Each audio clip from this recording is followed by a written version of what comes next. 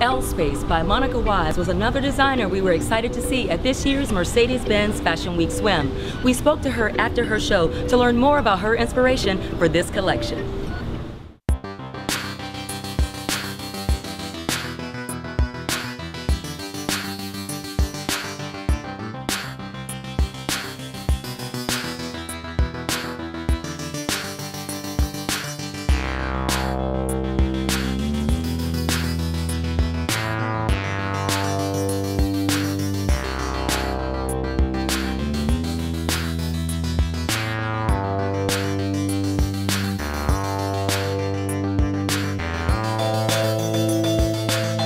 I'm here with Monica Wise from L Space, and we just saw her amazing show. You're very California, you know. Oh, we are definitely California. I'm a California girl at heart. I love that. So, what was your inspiration?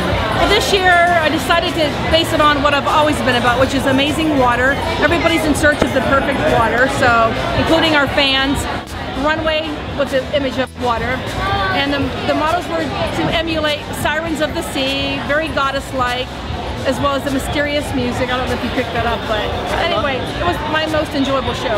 And I loved it too. What I love though, those dripping pearls. Right. I mean, they were goddesses of the sea. So they were. That, that, was, that, that, was like their net, their netting that they're caught up in the netting. Ah. So that was the whole theory behind that. I wouldn't mind being caught up in some pearls. That'd be nice, right? well, what was your favorite piece? What do you think of the things that we saw on the runway tonight were your most favorite? My, my favorite always the skimpiest. I just think it's so cute. Even though not all women can wear them, I love the skimpy looks. So a lot of cheeky looks. I don't wear them, but I encourage women to wear them like you. I would, in a heartbeat. well, thank you so much. It was a gorgeous show. Congratulations. Thank you.